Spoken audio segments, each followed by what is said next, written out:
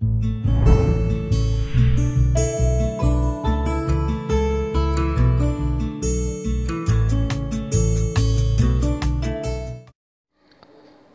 আমার প্রিয় শ্রোতা বন্ধুরা, সকলে কেমন আছো? আশা করি ভালোই আছো।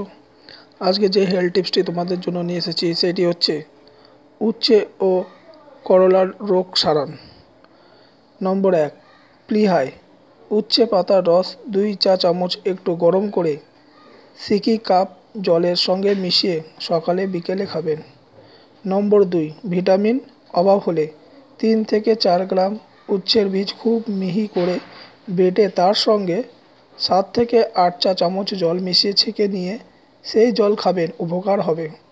নম্বর তিন, গুঁড়ো কৃমিতে বয়স্কদের জন্য দু চা চামচ এবং শিশুদের বা অল্প বয়স্কদের আট চা চামচ উচ্ছে পাতার রস একটু করে জল মিশিয়ে সকালে ও বিকেলে খেতে দিন, কৃমি আরোগ্য হবে। নম্বর চার, বাত বেধিতে। উচ্ছে পাতার রস দুই চা চামচ একটু গরম করে তাতে জল মিশিয়ে সকালে বিকেলে খাবেন, উপকার হবে। নম্বর পাঁচ, আধ কপালিতে উচ্ছে পাতা তুলে এনে পাতাটি হাতে একটু রগড়ে নিয়ে ন্যাকড়ার ভেতর দিয়ে যেদিকে যন্ত্রণা হচ্ছে, সেদিকে নাকের রসটার এক ফোঁটা দিয়ে নাসির নসির মতো টানো। সঙ্গে সঙ্গে আধ কপালই ছেড়ে যাবে। নম্বর ছয়, বিষাক্ত, দূষিত ক্ষতে লতা পাতা ও মূলসহ উচ্ছে গাছ শুকিয়ে চূর্ণ করে ক্ষতের ওপর দিলে এবং উচ্ছে গাছ সেদ্ধ জল দিয়ে ক্ষত ধুয়ে দিলে কয়েকদিনের মধ্যে ক্ষত শুকনো হয়ে যায়? নম্বর সাত, রক্তপিত্তে।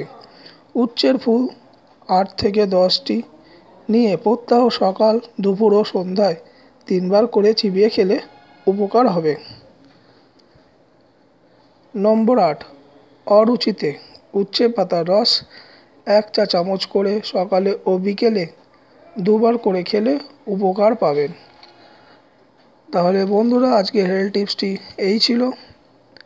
যদি ভিডিওটি ভালো লেগে থাকে, অবশ্যই একটি লাইক দেবেন এবং যারা আমার চ্যানেলটি সাবস্ক্রাইব করেননি, তারা অবশ্যই সাবস্ক্রাইব করে নেবেন এই ধরনের হেলথ টিপস পাওয়ার জন্য। ভালো থাকুন, সুস্থ থাকুন, সকলকে ভালো রাখুন এবং তার সাথে সাথে পরিবেশকে। ধন্যবাদ।